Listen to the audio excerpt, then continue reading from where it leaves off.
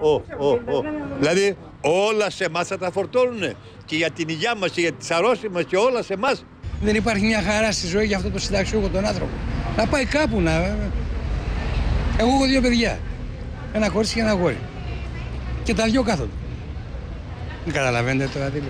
Άνεργα. Άνεργα μάλιστα. Νέα ψυχρολουσία με μειώσεις συντάξεων περίμενε τους συνταξιούχους που πήγαν το πρωί στα ATM των τραπεζών για να πάρουν τη σύνταξη Οκτωβρίου. Στις συντάξεις, κύριε και επικουρικέ, υπάρχει αναδρομική παρακράτηση της εισφοράς για την υγεία των μηνών Ιουλίου και Αυγούστου, που είναι 2% επιπλέον στις κύριες και 6% στις επικουρικές. Έτσι, για τον Οκτώβριο, στις επικουρικές θα υπάρξουν συνολικά αναδρομικές κρατήσεις 10%. Για παράδειγμα, μια μέση επικουρική σύνταξη 150 ευρώ θα έχει μηνιαία απώλεια 15 ευρώ. Οι παρακρατήσεις θα συνεχιστούν και τους μήνες Νοέμβριο και Δεκέμβριο παίρνουν 750 ευρώ. Οπότε καταλαβαίνετε από αυτά ζω την κόρη μου την άνεργη. Και εγώ ίδιος μένω στον νίκη και καταλαβαίνετε τι συμβαίνει σε κάθε περίπτωση.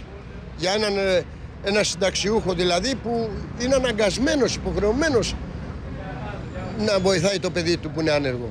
Την ίδια ώρα η διοίκηση του ΟΓΑ εξετάζει το ενδεχόμενο μείωση της προνοιακής σύνταξης του οργανισμού.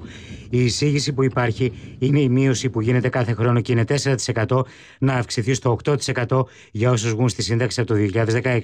Έτσι, το προνοιακό κομμάτι της σύνταξης από 172 ευρώ ενδέχεται να μειωθεί στα 158 ευρώ.